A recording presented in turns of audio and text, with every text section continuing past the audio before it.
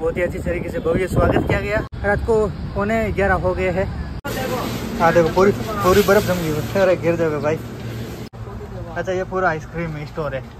क्या बात। बहुत ज़्यादा ठंडी लग रही है इसके अंदर तो।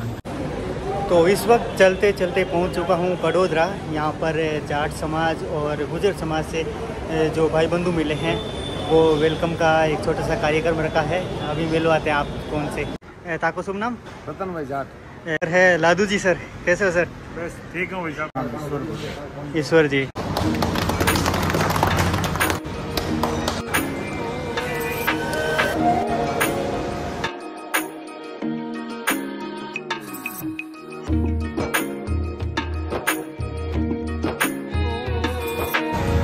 धन्यवाद सर थैंक यू हाँ ये थोड़ी सेविंग बनी है थोड़ी सेट की है। राजस्थान से लगभग यहाँ पर पूरे सूरत सूरत में तीस से चालीस हज़ार लोग रहते हैं। यहाँ अपने अपना अलग अलग बिज़नेस चलाते हैं। किन जगह रहे राजसमंद। राजसमंद कहीं बात है। अच्छा।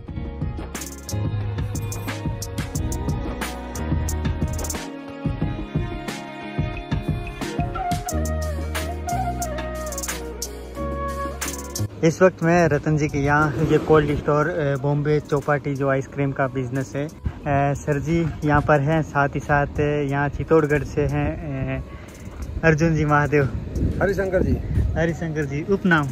अर्जुन जी महादेव। तो महादेव नाम कर ले सर जी। चिराग जी। चिराग जी। अब तो यहीं पर हो गए सेटल अभी। सूरत। सूरत।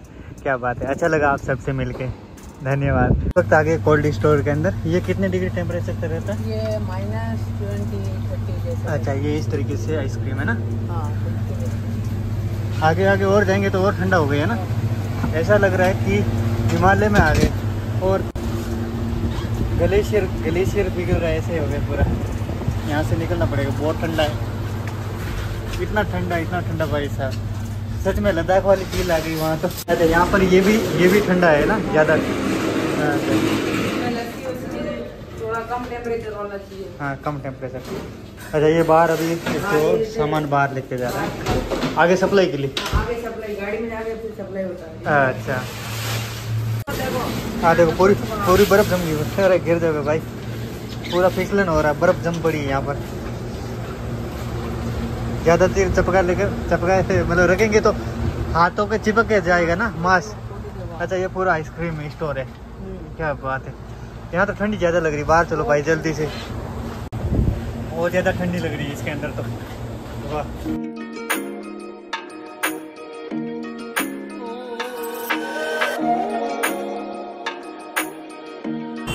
अभी यहाँ पर पंडित जी मिले हैं और इन्होंने रुपया है। बोला, कुछ ना कुछ नहीं तो जूस तो पी के ही जाओ। धन्यवाद पंडित जी। तो